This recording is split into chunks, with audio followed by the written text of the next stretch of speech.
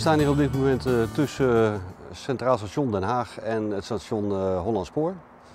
En we staan hier tegenover de verkeersleidingspost van, van ProRail. En in feite staan we op een hele bijzondere locatie, want dit is een locatie waar je normaal gesproken niet komt, behalve als je een trein rijdt of aan een spoor aan het werk bent. We zijn benaderd met het verzoek om medewerking te verlenen aan de filmopnames. Uh, daarvoor hebben we in eerste instantie uh, een, een, risicoanalyse gemaakt. Op basis van die risicoanalyse hebben we een, uh, een totaal pakket van maatregelen kunnen, kunnen opstellen. Ook in overleg met onze verkeersleidingspost die hier vlak aan de overkant zit.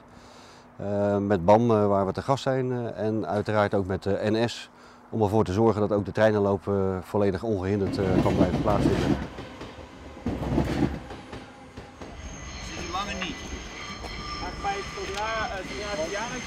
Kan het niet alleen? Nou, het is altijd fijn om op een plek te staan waar eigenlijk niemand mag komen. Dat is, uh, dat is één ding. Nee, maar het is. Uh, ik snap heel goed dat, dat niemand hier mag komen. Want het, ik bedoel, de treinen razen hier gewoon voorbij. Er zijn geen hekken. Er is verder, ja, niet. Ik bedoel, nu is er toezicht omdat wij hier zijn en omdat jullie hier allemaal zijn. Dus ik voel me wat dat betreft heel veilig. Maar ik begrijp absoluut dat dit niet een plek is uh, die toegankelijk is voor het publiek. Maar aan de andere kant weer is het een prachtige locatie. Om zoiets als dit bijvoorbeeld te maken. Iedereen loopt met een boog om me heen. Bang zijn ziel te bezeren.